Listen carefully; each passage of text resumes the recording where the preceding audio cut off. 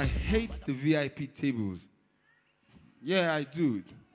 Uh, you guys just come here, sit down, feel all good, eat. While people are laughing, we are here cracking jokes, and you guys are eating. Like I came to your house to perform for you at the dinner table.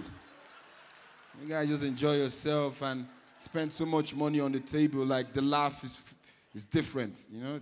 The joke is the same. What they hear is what you hear. Even if they don't eat now, when they get home, they will eat.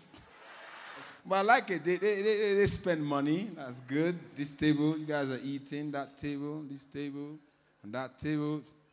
No food, no drink. You guys are, you guys stranded. Someone bought the table and didn't show up, right?